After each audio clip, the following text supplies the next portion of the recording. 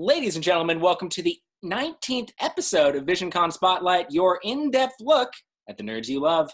I'm your host, Zach Wilson, but you didn't come here to see me today. You came to see the man of the hour. He's seven primetime Emmy award winning visual effects supervisor whose resume includes The Mandalorian, Star Trek, Game of Thrones, and countless other titles. Ladies and gentlemen, please help me welcome the one, the only, the legend, Joe Bauer. Joe, how you doing today? I'm good. I'm good. How are you? Nice Dandy, it's Andy, Joe. So, Joe, a lot of people obviously know your work, but not enough people know the man behind the scenes. So, for the folks watching at home, go ahead and tell them who you are and what are some other titles that you've worked on throughout the decades. Yeah. So, uh, Joe Bauer. You know what? I grew up in Springfield. Um, uh, we moved there from uh, North Carolina, where I was born in 1968. Do some math, and uh, and I uh, I uh, went to school there uh, through high school, and then a year of college. Went up to um, Northern Missouri for university, and then I left for NYU in New York for grad school. Then I came back, worked at KSPR for three years and then uh, moved out to LA in uh, 1991. So I've been working out here for very nearly 30 years. Um, so uh, you mentioned some of the things I've worked on, uh, which are sort of, frankly, the highlights. I think um, I've done quite a lot of, of uh, uh, or some number of movies, including probably the most popular this time of year is Elf. Um, which I did back in 2003 with Will Ferrell and Jon Favreau, and uh, you know that whole gang. And there's a, a, making of, or it's actually sort of an anniversary special, uh, highlighting it on Netflix right now. Um, that is kind of fun to watch. Um, but I also um, I did Get Smart for Warner Brothers with Steve Carell and Anne Hathaway in 2007. Um, I did uh, the 13th Floor with Roland Emmerich. I'm just sort of jumping around. Um, I did the second Final Destination 2 movie, uh, which had the the big crash sequence on the freeway with the with the log truck. And that was fun. That was early on. I did one of the Blade movies. Uh, I did uh, uh Fantastic Four. Um, I did Fright Night with Colin Farrell and uh, the late Anton Yelchin, sadly. Uh, you know those kind of things. But I, w- I was on um, Game of Thrones for seven years, um, so that took a big chunk of time from season three through the finale. And then, as you said, I, uh, I uh, did the first four episodes of season two of Mandalorian. And I'm just starting uh, a, a feature project at Warner Brothers right now. Without fail, whenever I'm driving and I'm like driving behind uh, a freighter that's hauling lumber, I always think of that scene from Final Destination 2. Oh my God. You know what? I- oh, I'm sorry. Well, so yeah. guys, a lot of i mean the the name visual effects supervisor is kind of self-explanatory but in case any of you watching right now aren't too familiar with the job i actually prepared a slideshow for all of us if you just give me one sec. And so i'm going to start us off with my favorite picture that i found. All right. So i mean correct me if i'm wrong but this is one of the dragons from game of thrones correct? You know what? That is uh, Viserion. so uh, we made that for um, uh, a season seven episode when the Night King throws a spear through Viserion's neck and he crashes into the frozen lake. Um, at the end of the episode, uh, all the uh, the whites under the supervision of the White Walkers are pulling his dead uh, corpse out of the out of the lake, and then um, the Night King puts his hand on and and uh, brings him back to life with the blue eyes. So we needed something to frame on with the camera uh, when the Night King is coming up, and the Night King also needed some way of knowing where to put his hand, that sort of thing. So, uh, so this was made from the 3D, uh, the computer generated 3D model, and then printed at scale. So that's the real scale of the dragon head of the Viserion head. Drogon was 20% uh, bigger. Oh my god! One of the most iconic scenes in the show, and just I, I just love that you're just like right next to it for scale. yeah. All right, so we got this one. So as I mentioned, seven primetime Emmy awards, and then a plethora of other awards. But is there anything special about this one? Um, I think this would have been. I don't know if this was season seven or eight. Uh, I mean, what was special was really, uh, you know, winning every year. Um, I don't know what what you know what planets came together for Game of Thrones, but you know, we won everything that we were nominated for, and some things we didn't even realize that we were nominated for. But you know, we got a Hong Kong Academy Award, we got two Australian Academy Awards. I'm just listing things you wouldn't know otherwise. Um, you know, Visual Effects Society Awards, um, um, HPA. I'm trying to remember what that stands for, but anyway, you know, it was just it was uh, sort of numbing to to just keep winning. And I think, you know, we, you know, as the show ended, you know, so much other great work came up, and obviously including The Mandalorian that uh, that we handed the baton off to you know other creative teams, but it was a really fun you know feature of every year. You know, even when we were shooting in Northern Ireland, we'd all uh, dust off our tuxes and fly back to LA for the for the Emmys. Um, and uh, I don't know, it was just uh, you know it's still hard to sort of comprehend you know how how normal it all feels after a while, but uh, it was lucky. Very surreal, I would assume. Yeah, it is.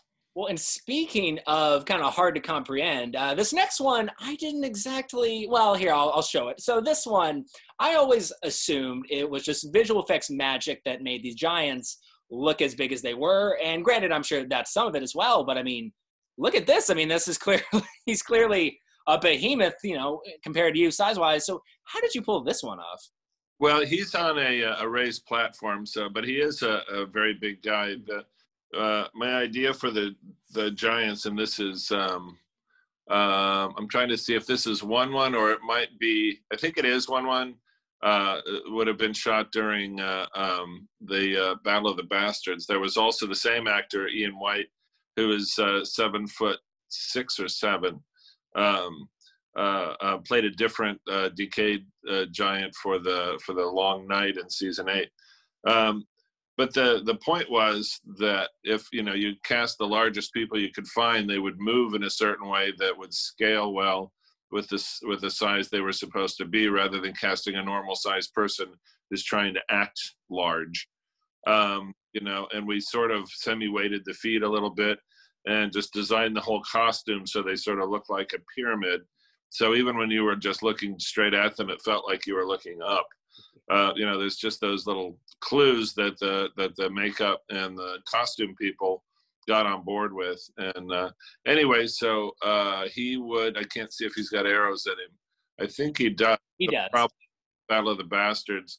And I that was right after the scene where um, uh, uh, you know they're already in the fight and Jon and Tormund look and um, uh, a bunch I guess it's the wildlings are running toward them, and and Wun Wun is leading the charge, and then he swats the horse, mm-hmm. and the horse eyes sort of past camera.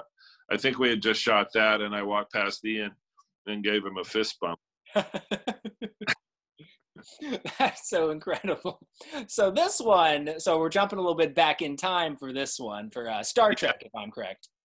It is. It's uh, that would be Voyager, and um, that would have been for the Voyager pilot. Um, and that if you turn it upside down, you'll see the general shape is is the Voyager um, uh, model, and it's the same size as the. This is just a cardboard cutout for framing, but it's the same size as the as the physical model that we were shooting at that time. This would have been just at the transition from model work to CG. So I think the the planet that it's a it's um, the Voyager and let me remember the name of the other ship, the little one. Um, well, I can't get there, but um, but uh, um, they are uh, orbiting a planet, I believe. So the planet would have been CG in space, and then the models we would have photographed in a number of passes.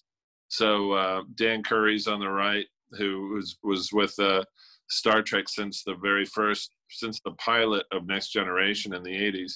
Uh, then I'm in the background there, David Stipes and Jim Ryder, who would have been programming the motion control. And then we got one more that I just wanted to end on because I thought it was very uh, cute and funny. Uh, yeah. So uh, tell me all about this one. Okay, so that's uh, uh, I'm on the right. Steve Kullback, my effects producer, is on the left, and uh, Steve had been on this show since the second season. Uh, I wasn't available to join him, but I did join him in the third season of uh, Game of Thrones, and this is um, would have been a season four episode, I judging by the size of the dragons. Um, and we were in we were shooting in uh, an area in Croatia in uh, in an old Roman palace, and um, this is when Dany is locking up uh, the dragons um, uh, beneath the pyramid. And so, just for uh, framing, we uh, you know we had um, um, these uh, we call them stuffies, but anyway, they're sculptures, painted sculptures of the dragons' heads. That's almost the last time we were able to do sculptures that were proper scale for the dragons uh, because every year the dragons doubled in size.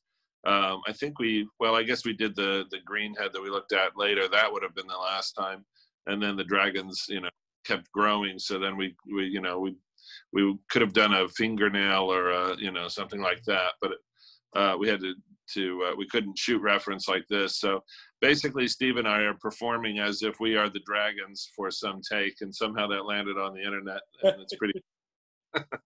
I got a kick out of it when I saw it.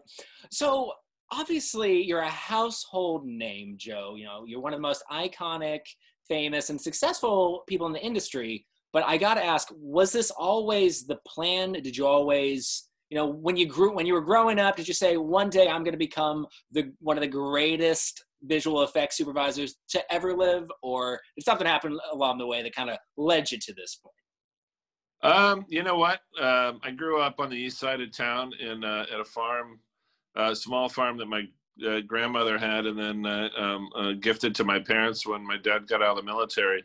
Um, and you know, even as a, a, kid in grade school, I just, you know, I, I, I subscribed to a magazine that was uh, very rare um, because there weren't very many films, certainly horror movie magazines. There was something called Famous Monsters of Filmland and um, and I you know every week and eventually toward the end of the month, every day I'd run to the mailbox at the end of the driveway to see if the new issue was in.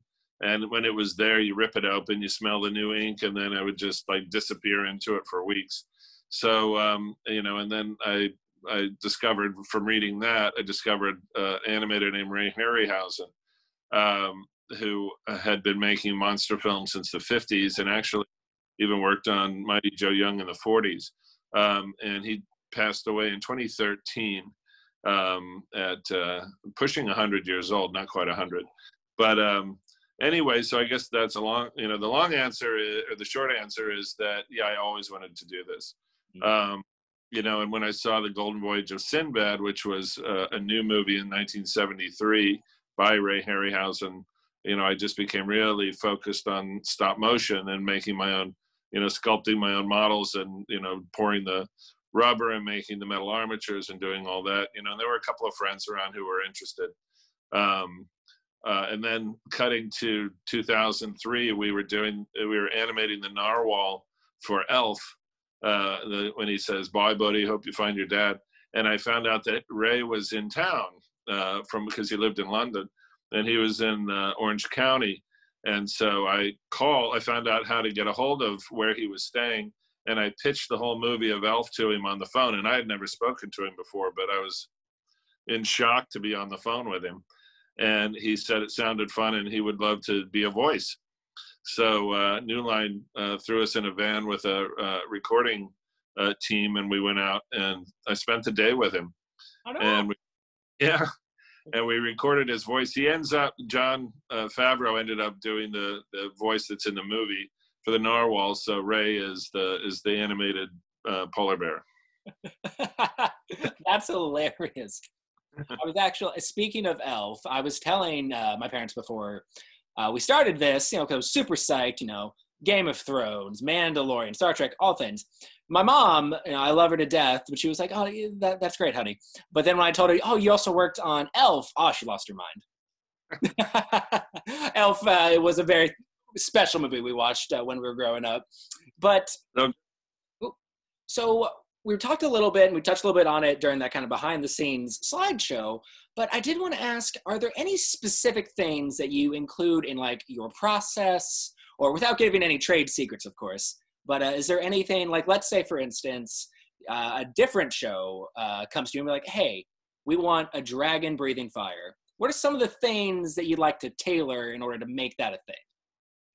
Um, well, you know, um, as soon as we needed to do it for Game of Thrones, um, I decided to to shoot as much um, photographically as opposed to going right to the CG because if you don't have the resources to do the CG well, you know, it really kind of ruins the whole drama that you're watching.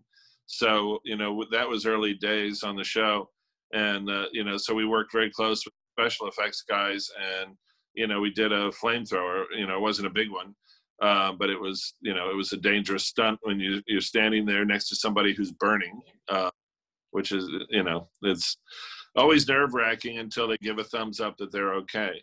Um, you know, and then by season eight, you know, we had uh, you know we were burning you know 20 guys at a time. So you know, all I would say is get a good dragon designer um, who knows something about um, you know about nature and you know if if this dragon were to have developed along with lizards and horny toads and you know anything else you know komodo dragons on the earth you know uh, which we are things that we recognize you know then uh, uh, you know if you want something that is believable then cue off of nature. Um, you know and then if if that's you know if you're doing a chinese dragon or something super stylized that's something else. Um, but that's what we did and we worked with a, a company in uh, in Stuttgart, Germany, um, and then a, a fella who specializes in designing dragons.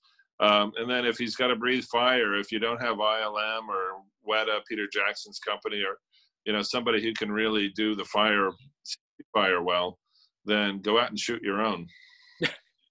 so you're telling me that a lot of the the scene because there's quite a few scenes during Game of Thrones where people are literally on fire I guess I always assumed that was just, you know, just visual effects, CGI. But you're telling me that they were actually on fire? They were actually on fire when. How, um, how does one safely? I mean, I hesitate to use the word safely, but uh, safely do that. Well, safety is is the ultimate thing, and you know, it's really it falls to the stunt people, the stunt coordinator. But um, in season five, I think, when Dany um, and her gang are in the um, in the Daznak fighting pit in Meereen, and they're uh, about to be killed by the Sons of the Harpy, and then uh, Drogon flies into the arena, lands, and um, and rescues them.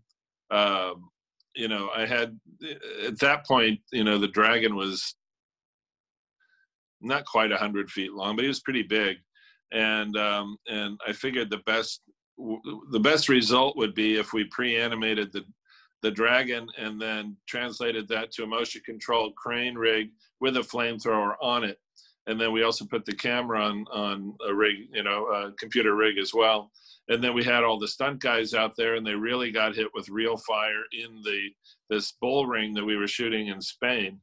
Um, so we set all that up and, um, you know, the stunt guys loved it because they, they, uh, you know, you could play it back again and again. So they knew exactly what the parameters were but the way you light somebody on fire is you coat them with this gel then you put a, a, like kind of a wetsuit on them and then you put more gel on them then you put the costume on them. They have to have um, uh, fireproof hands a fireproof head you know the and they have to breathe through a tube because the gel is poisonous if you breathe it in. So but it does keep you from burning. So uh, so each of those guys had to breathe through a tube, fill their lungs with oxygen, then remove the tube, and then wait for the camera to roll, then do all of their performance, including getting caught on fire, and then have people run in and put them out before they could breathe again. So um, they all drive Maseratis now because you get paid a lot to do that stuff. but and some of the guys, you know, did it multiple times. So, uh, but it's a very complicated thing. Oh my god! And I better not hear any of the folks watching at home trying that at home. No, no. You know, you can die really quick if if you don't know what you're doing. That's all.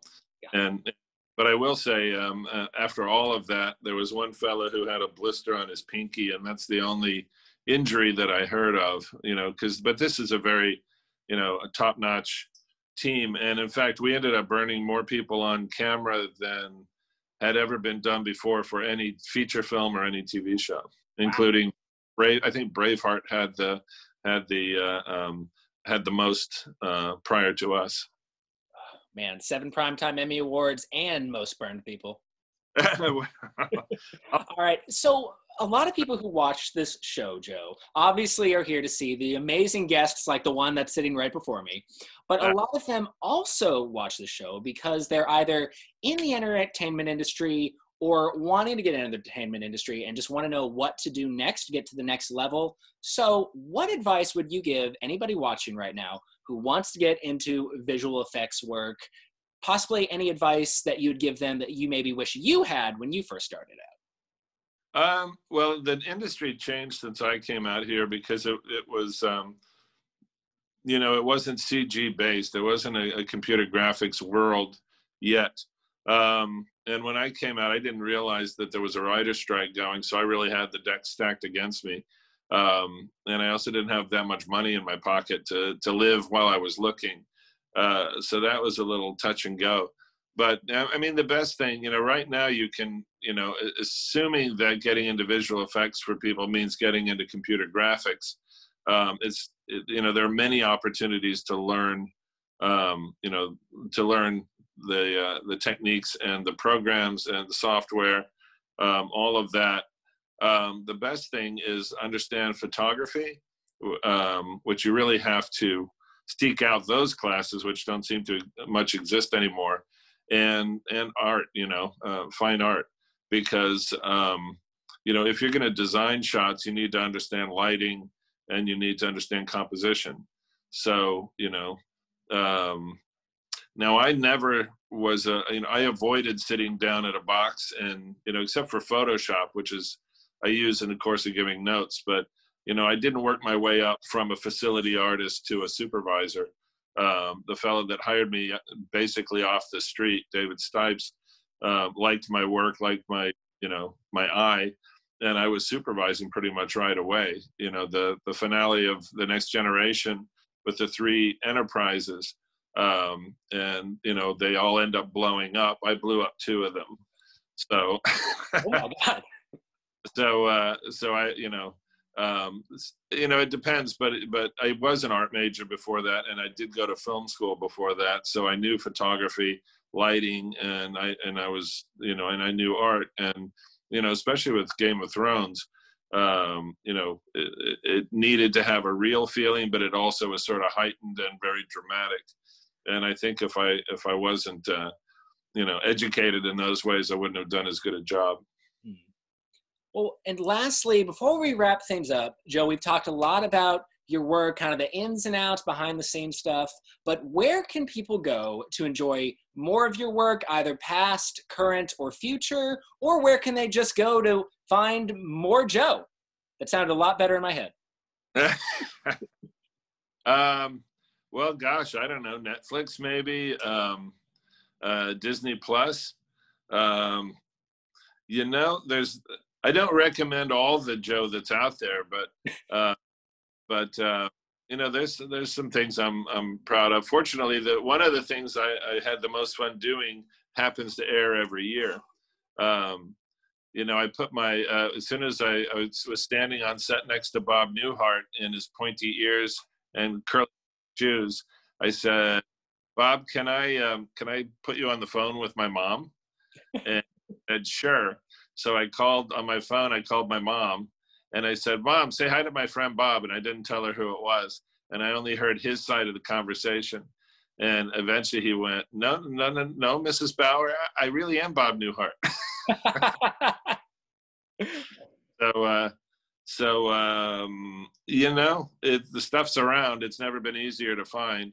Uh, you know, I tend to watch Game of Thrones just going down memory lane on YouTube more than anything else. But but uh, I will say for the uh, season eight episode, "The Long Night," which broadcasts so dark, if you uh, if you look at it now, but better if you go to the Blu-ray, which is available, you'll see what we had in mind. Mm. right. Well, and then I got a bunch of links for the folks watching home. If you just look right down there in the description box below, got a ton of links to take you to everything and more. And with that, ladies and gentlemen, this has been episode 19 of VisionCon Spotlight. Before we wrap things up, Joe, any final thoughts to leave us on? Words of wisdom, anything? Um, you know what? Um, I had a professor at, at Southwest Missouri State tell me uh, the secret, he called it the secret of life, and he didn't tell us till the final day of class. And it ended up being very simple do what you want to do. So I'll relay that. Do what you want to do. Couldn't have said it better myself.